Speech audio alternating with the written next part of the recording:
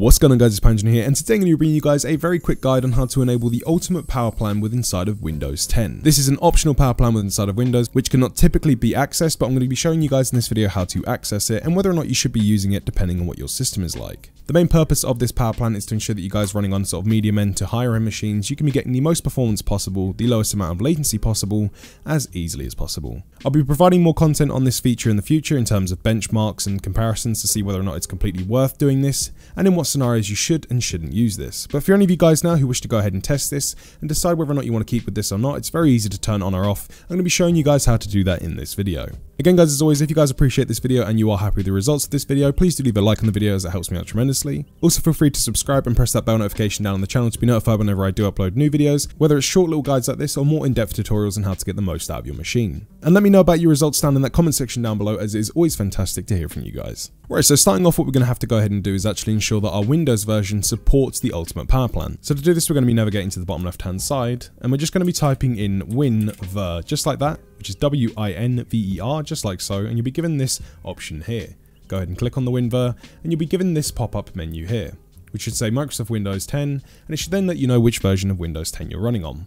As you can see for me, I'm running on version 1803, and this is the lowest version of Windows you can run, which supports the Ultimate Power Plan. So you guys are going to need to be running on 1803 or a higher version of Windows found over here on the OS build, or just in the version, so anything above 1803 or 1803 will work perfectly. If you guys are not running on this version of Windows and you're running on an older version of Windows, just simply go ahead and press OK. You can then navigate down to the bottom left hand side and type in check for updates, just like so.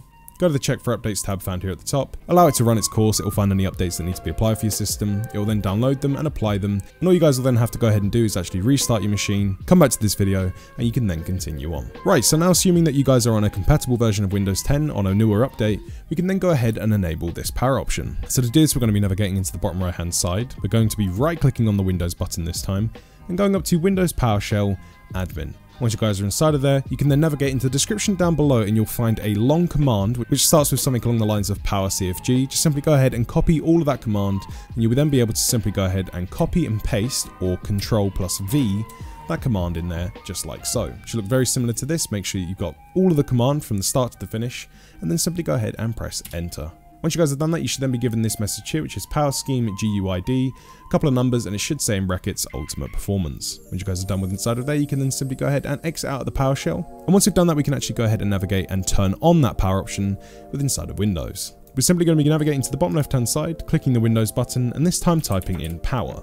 We're then going to be looking for any of the battery icons with the little cord going around it. It doesn't matter what it says next to it, just click on any of them. Then within inside of here, simply navigate to the power options tab found here at the top, and then you should be able to see the power plans inside of here. Simply go down to the show additional power plans, click on the drop down menu and then you should be able to see the ultimate performance Windows power plan found here. You can also change these plan settings if you wish to do so by going onto the blue tab and you can change these two settings within inside of here to anything you wish to do so.